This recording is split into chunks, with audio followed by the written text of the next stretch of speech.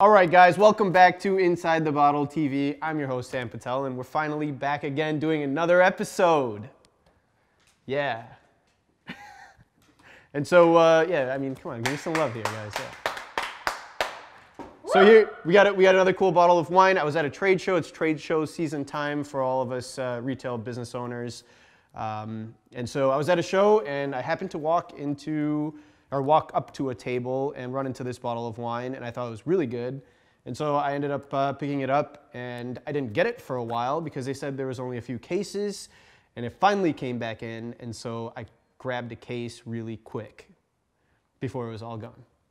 And so this wine, uh, Le Loup dans la Bergerie, which I probably butchered that name. I'm probably going to butcher a couple more things, but that's all right because the wine itself is awesome. A cool story behind this. Uh, Jean Orliac from France uh, created this wine. He's an avid mountain climber and apparently was climbing somewhere and I'm not exactly sure what the whole story was, but at the bottom of the appellation, he saw a place to create a vineyard or something like that. So uh, cool story behind the wine. Ended up picking it up. And so let's get inside of this bottle. Now, three different wine blends in here. Syrah, Merlot, and Grenache, which are three of the blends that are in this wine.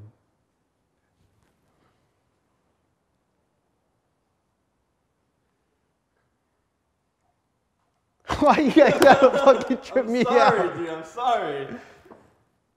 Oh, that's hilarious. Show that to the camera, man. That's...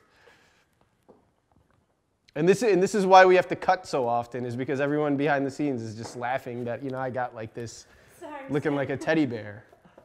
Anyways, back to the wine. You're gonna have to cut a little piece of that, Yeah. Uh, but that's all right. So what do we get on the nose here? It's really lively, get some black cherry. A lot of black cherry, actually. A little cinnamon. Mm. Mm.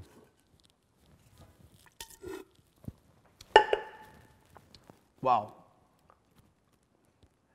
It's completely it's completely lively, very medium bodied.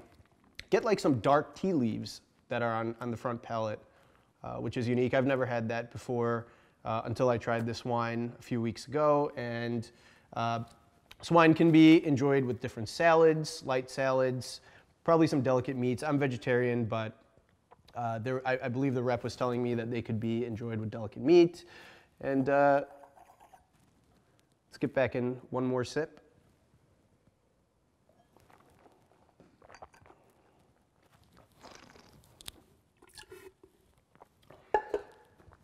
Very light tannins. Now, this was uh, in 100% tank, no oak, beautiful wine. Guys, if you can get your hands on this, again, Le Loup dans la Bergerie from France, from the Languedoc, and 12.5% alcohol, and it is beautiful, 2014 blend. So anyways, guys, thanks again for staying tuned to Inside the Bottle TV. Leave some comments below, subscribe to our channel, like us on Facebook, and also use the hashtag AskInsideTheBottleTV. Thanks. Testing my French, huh? Uh, you, uh, you know, I, you're just such a cool guy, Bob. Yeah, yeah, right. Okay, Sam. Save the bullshit. I apostrophe H O R T U S.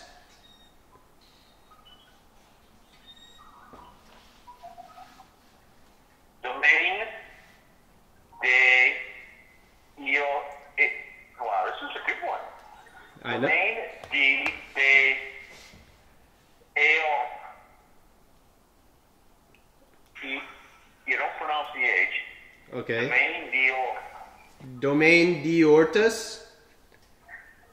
domain de Domaine de Ortu. Domaine de, de, de Ortu. Domaine de Ortu. Your, uh, domaine de Ortu. All right, I got it. Good luck, man. All right, man. Ciao. Ciao. Thanks, Bobby.